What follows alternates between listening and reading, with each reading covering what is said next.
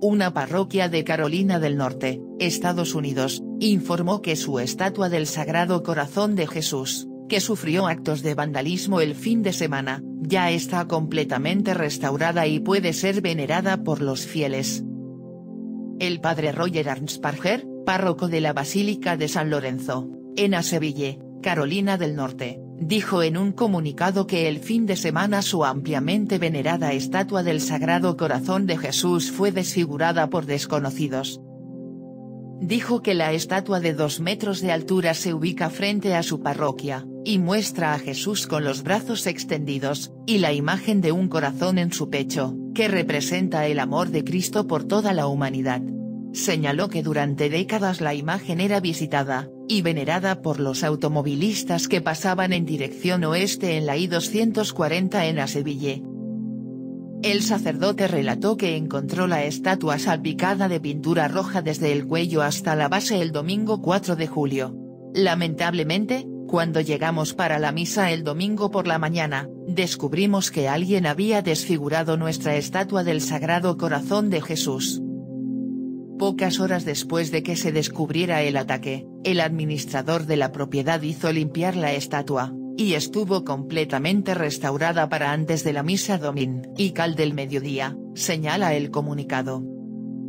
El domingo 4 de julio, el padre Arnsparger se refirió al terrible suceso, y pidió a los feligreses que oren por la paz y el respeto para todos. Además, el sacerdote dijo en el comunicado que reza por el perpetrador, y que están infinitamente agradecidos por el apoyo de nuestra comunidad.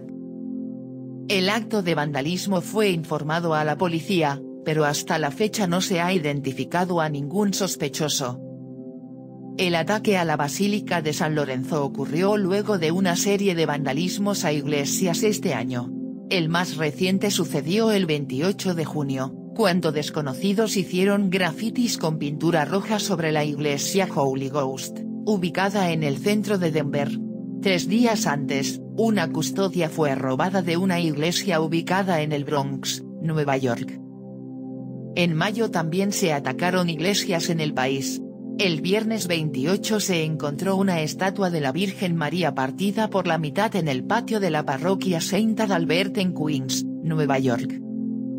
El sábado 15 de mayo unos desconocidos destrozaron otra estatua de la Virgen María, y decapitaron la imagen del niño Jesús que llevaba en sus brazos. La escultura está ubicada frente a las oficinas administrativas de una diócesis. Un día antes, un crucifijo ubicado fuera de la parroquia de San Atanasio, en Brooklyn, fue hallado en el suelo junto a una bandera estadounidense quemada.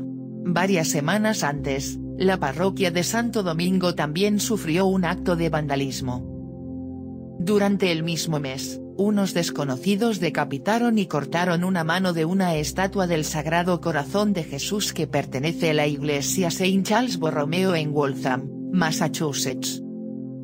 Además, cerca del 8 de mayo, unos vándalos rompieron los dedos de una estatua del Sagrado Corazón de Jesús en la iglesia St. Thomas More en Narragansett, Rhode Island.